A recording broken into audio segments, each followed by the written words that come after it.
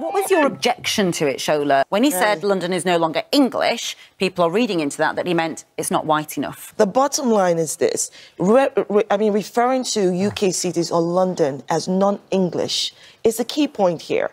Britishness is not determined by the colour of our skin. Well, he does go on to clarify. He said actually it's it's not about racism, it's about culturalism, and he hmm. said that it's not as polite as it was, humorous, it's not as friendly as it was. Those sorts of things That is is such saying. nonsense. This is a man who who left the UK because it's full of foreigners and moved to a foreign country to become an immigrant. Please, let's not take him seriously.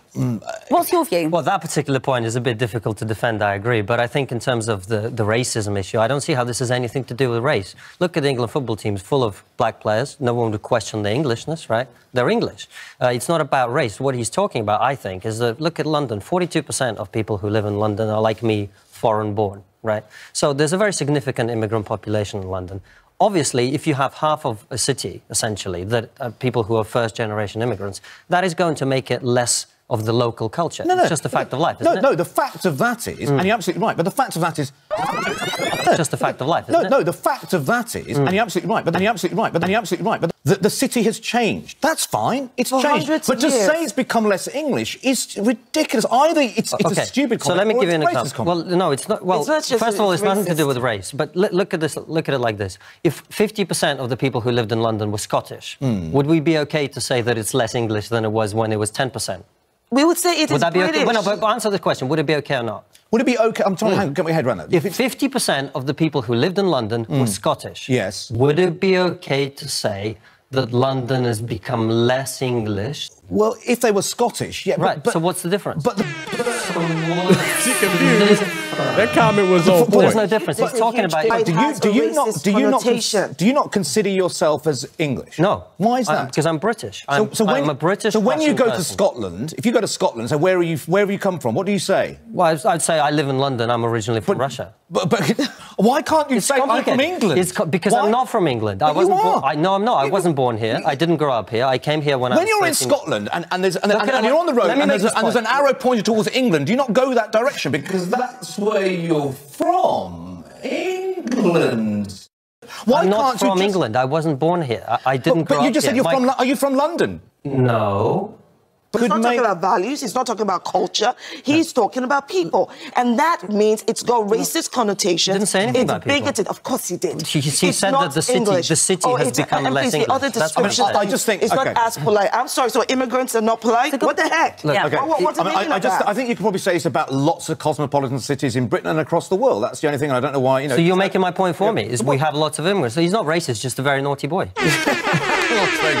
Now, no disrespect if I butcher this name. Constantine Cassine or Cassin, I believe is his name. The comedian that just went on the show. You know, the only guy on the on the panel who was cool, calm, composed, other than my man all the way to the right who had the slight beard, who didn't say a word to my knowledge. But that was my first time seeing Constantine, anything featuring him, and I have to say, this is a great example of logic versus emotional inconsistency. People getting heated, people getting upset, people wanting to bash and belittle and just interrupt and interject, not let you get your point across. We see this all the time. Now, I'm not sure if he's a God fearing man or not, not sure what his day to day looks like, but hang in there, bro. It's rough being the only sane person in the room, which clearly you were. He destroyed their argument, in my personal opinion. All they did was get loud, interrupt, disrupt, whatever you want to label it as, the best that they could, they attempted to, and he stayed calm while everyone else just kept getting louder, up in up in the dB, up in the decibels, and trying to correct them. And it's insane. People could be this naive, that people could be this dumbed down, and they can't just let people get their point across, have a civil discourse without bashing. And his 50% Scottish comment was right on the money. And the fact that that presenter, they couldn't grasp the, the parallel with a city being 50% immigrant just shows the hypocrisy and the, the clamoring just to be offended, just wanting to get upset about something. Now, what's most telling of all and a glaring issue, and you know, the elephant in the room, as some would say, is there's not one English person by descent on this discussion panel.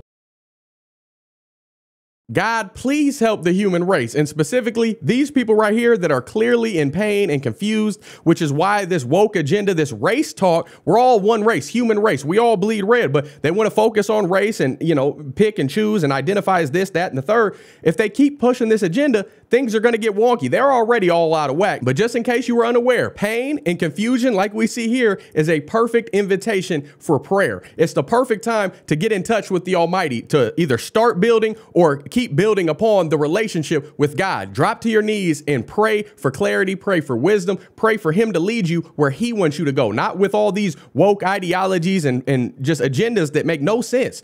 Pray to God Almighty and He'll direct you to the truth because there is no truth without God. James 5, verses 13 through 16 says, Is any among you suffering? Then he must pray. Is anyone cheerful? He is to sing praises. Is anyone among you sick? Then he must call for the elders of the church and they are to pray over him, anointing him with oil in the name of the Lord. And the prayer offered in faith will restore the one who is sick, and the Lord will raise him up. And if he has committed sins, they will be forgiven him.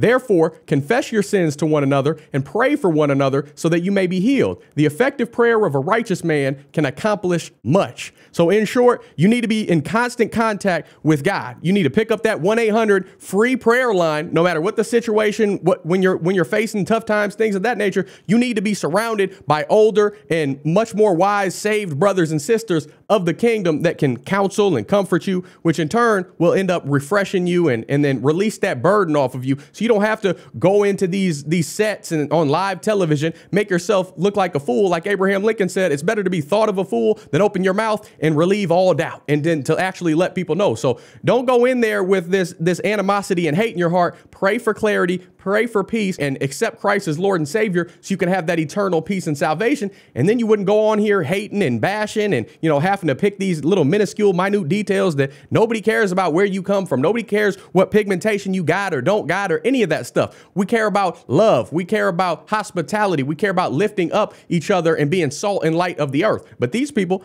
it's clear as day they don't know God. It's time to get to know him. But that's all I got for today. If you enjoyed hearing Constantine, you enjoyed my perspective or whatever value you got from this video, don't forget to smash that like button, subscribe if you're not already, ring the bell so you get notified anytime I post a video. Comment below, let me know some other videos by Constantine I got to check out or any information. Is he God fearing? Is he is he Jesus loving?